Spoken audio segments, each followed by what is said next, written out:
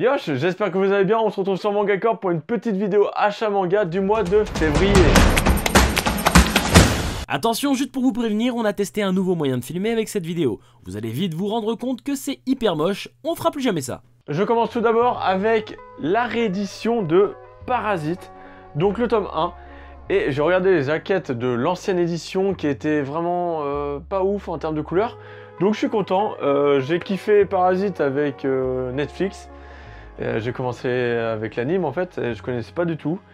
Et euh, la réédition, bah, en fait c'était une super bonne idée. Hein Donc euh, Glénat, très bonne initiative. Et en plus de ça, ils ont édité euh, un petit recueil donc, de Parasite. Et c'est des petites histoires de 12 auteurs différents qui se sont inspirés de Parasite pour faire des petites histoires. Donc dedans, par exemple, il y a Hiro Mashiba qui a fait une petite histoire avec euh, Lucie, Natsu et, les autres. Et euh, ben, c'est très sympa, c'est rigolo, c'est gore, c'est euh, voilà ça. C'est un peu comme le anthologie euh, de ah, J'ai perdu de l'attaque des Titans. C'était le gros tome là où il y avait plein de petites histoires inspirées de l'attaque des Titans qui se passaient avant ou après. Donc ça c'est cool qu'il l'ait édité. Donc très bonne série. Euh, pour les puristes, euh, dites-moi ce que vous, euh, vous pensez en fait de la nouvelle édition. Moi je la trouve très très cool, super sympa et très représentative de l'œuvre. On termine avec Glénat avec ses deux tomes de Mars Chronicle. Je pense pas que j'irai plus loin pour le moment. Le tome 2 était génial, mais après dans le tome 3 on retourne directement à son enfance, ce qui est un peu le but de Mars Chronicle en même temps. Mais le tome 2 parlait de la suite de Last Order, donc ça c'était sympa. Ça me permettait d'avaler un peu mieux la pilule de Last Order, de la fin de Last Order.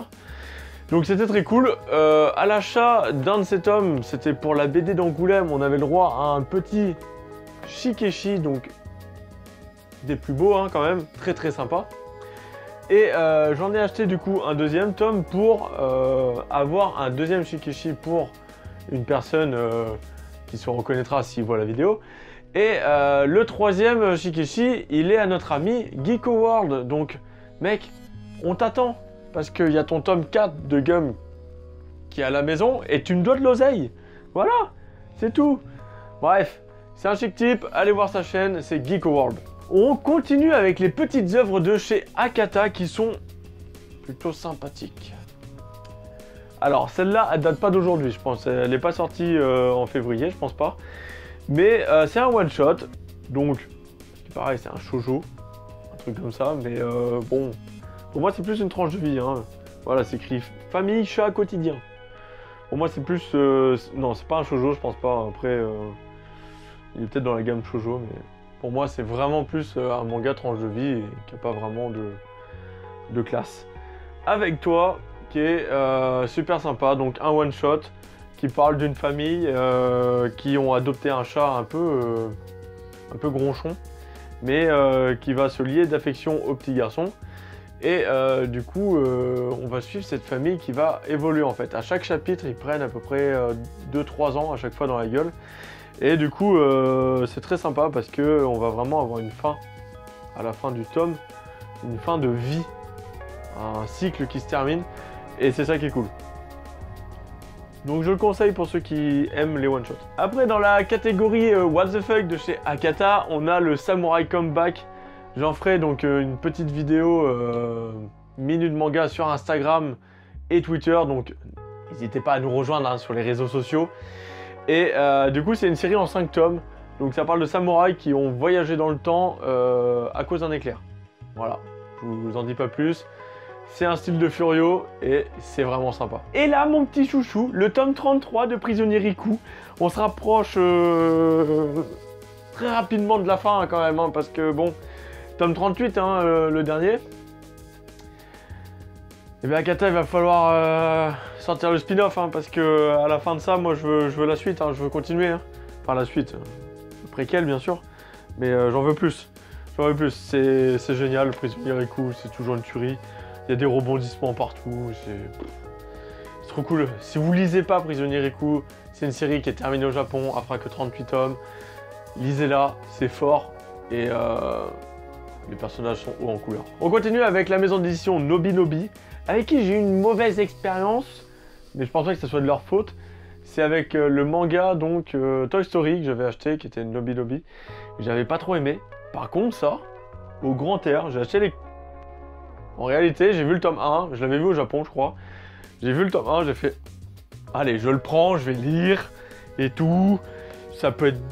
Mais putain, c'est trop bien! Voilà, donc je suis retourné le lendemain, j'ai acheté les trois autres tomes.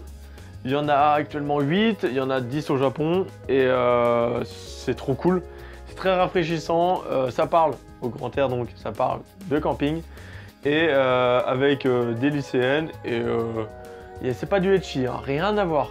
Non justement c'est très frais, c'est ça montre juste le camping avec euh, l'héroïne qui est tout le temps euh, enjouée et qui a tout le temps faim, on dirait un personnage de Neketsu donc euh, c'est très très cool et euh, j'ai kiffé.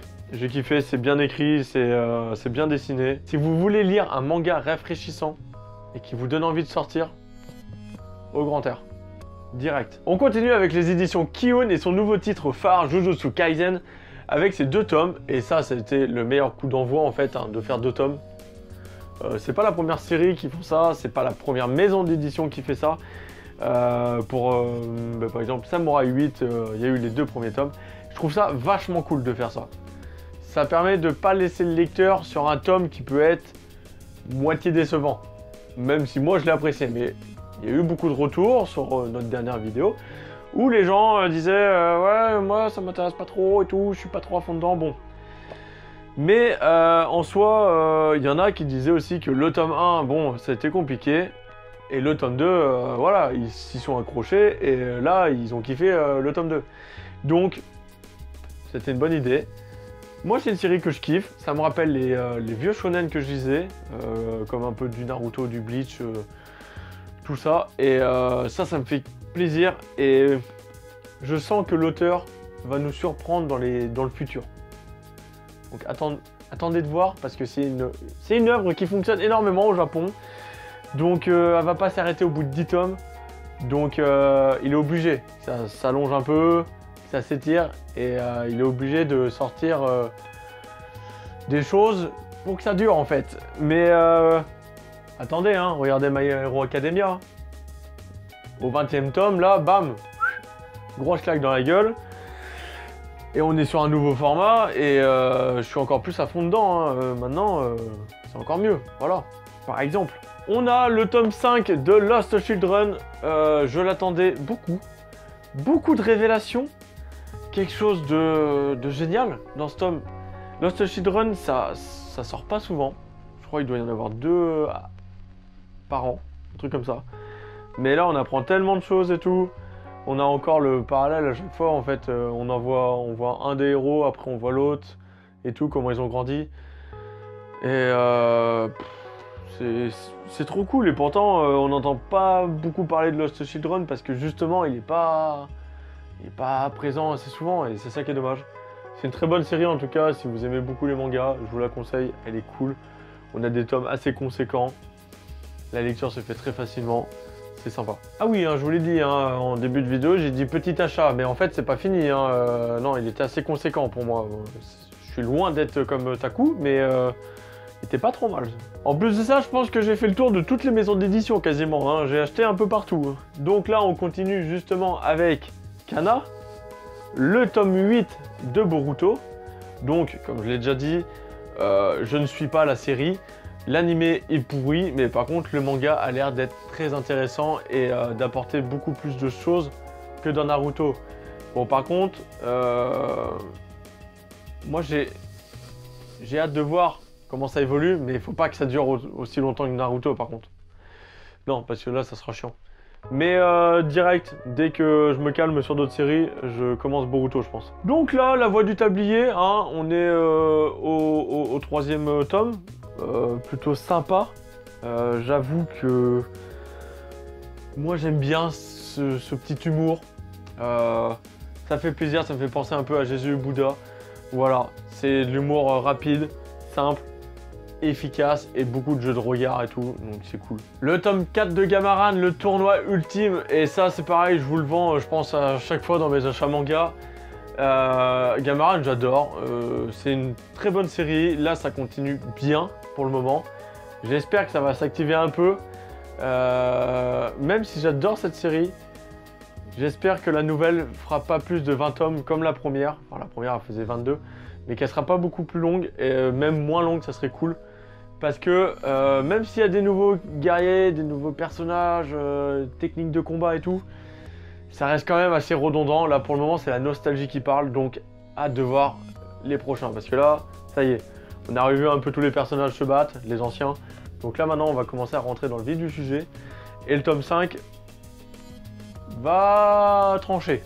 Si c'est toujours une bonne série ou si en fait euh, c'est juste du réchauffé. Fire Force tome 13. Et là c'est du lourd. Là moi j'aime beaucoup. Fire Force c'est génial. C'est l'auteur de Souliter de toute façon, et c'est génial, Souliter c'est pas sorti à la bonne époque, Souliter ça devrait sortir maintenant, ce serait génial. Petite info à Kurokawa, s'il regarde cette vidéo, je pense pas, Full Metal Alchemist édition perfect, c'est une super bonne idée. Et après, il faut sortir la perfect édition de Soul c'est tout. Moi je l'achète direct. Non mais voilà, des dessins comme ça, c'est euh, trop stylé, putain. Moi j'adore, il y a du combat, il y, avait des alliances, il y, a, de tout. Y a... Là on est reparti sur un nouvel arc. Euh, on voyage un peu, on change de destination. C'est cool. Voilà, là on nous vend du rêve. On continue et on termine justement euh, la série euh, à coup le chasseur maudit avec le tome 5. Moi je voyais cette jaquette, je me suis dit putain, petite référence avec le tome 1 à son père, c'est stylé. Ils ont réussi à tout foirer au final, putain, la fin c'était de la merde. voilà, je sais pas quoi vous dire de plus.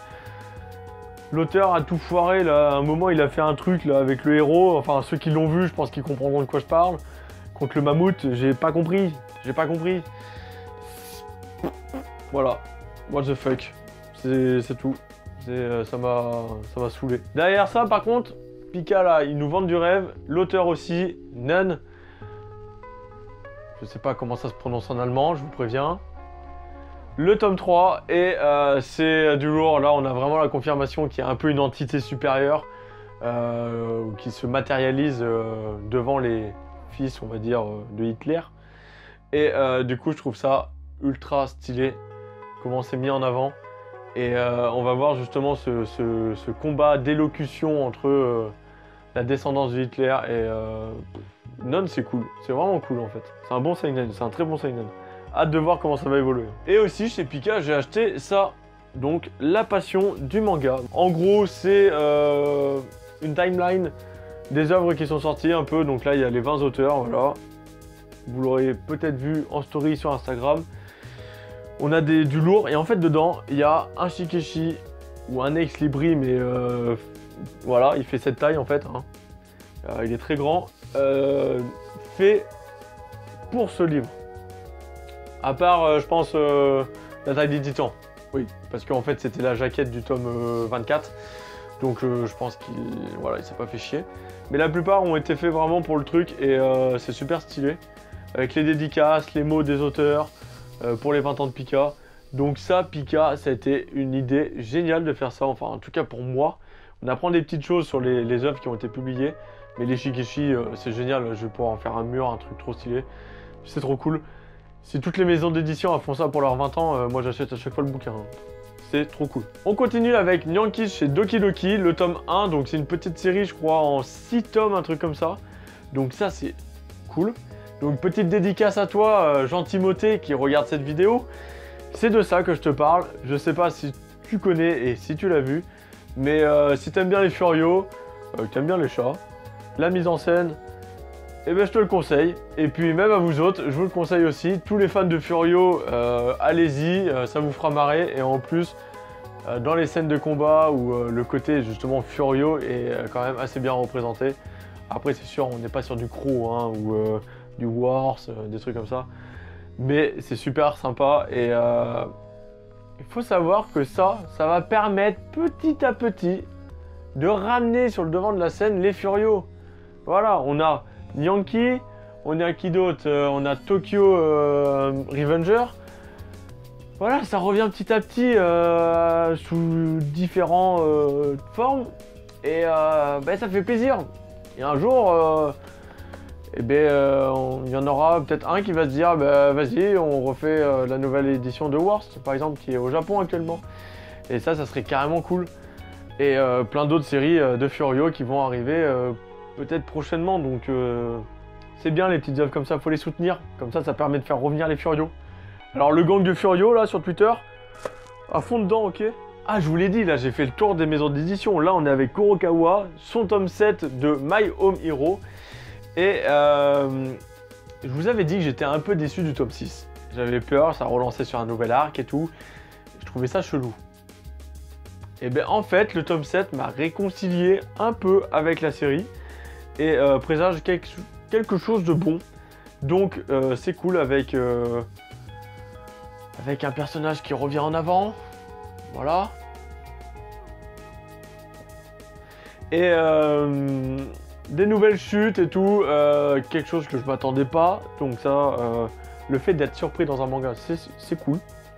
Ça marque des points. Et du coup, ben, j'ai hâte de voir le tome 8 maintenant parce que... trop mal. C'est pas trop mal, c'est cool. Ça relance le truc, mais comme il faut. Donc à voir. Et comme j'ai dit, il faut pas que ça s'éternise. Et là on termine avec le tome 12 qui avait son coffret collector. Je sais pas lequel c'est. C'est celui-là. Voilà, donc dedans, coffret collector, il avait le roman. Et euh, du coup, un tome 12 euh, très mouvementé. Et oui, ça va vite, ça va très vite. Euh, là, moi je prends une claque. Promesse Neverland, ça va à une vitesse, c'est n'importe quoi. Et du coup, ben là on les voit euh, avoir affaire à des humains en fait. Donc euh, c'est stylé. Et euh, il y a des retournements de situation et tout. Il y a des choses tragiques qui se passent. En somme, un très bon tome. Comme d'habitude, Promesse Neverland, c'est quand même ouf. Voilà, ça, ça fait partie des mangas qui, sortent vraiment des sentiers au départ. Et après, qui suivent une ligne, hein, qui suivent le sentier. Et euh, voilà, non, mais c'est génial, c'est cool que The Promise Neverland soit arrivé en France. Qu'une œuvre comme ça soit arrivée en France. Ça change un peu. Euh, voilà, c'est un, un, bon côté fantasy et pareil, j'ai hâte de voir la fin parce que pour le moment, c'est juste trop cool. Trop cool, trop cool. Voilà, c'est fini. J'espère que vous avez apprécié cet achat manga. Dites-moi dans les commentaires euh, ce que vous, vous avez acheté. N'hésitez pas à liker la vidéo, ça fait toujours plaisir et ça permet de monter. Et euh, on se retrouve bientôt sur Manga Corp pour une nouvelle vidéo. Yosh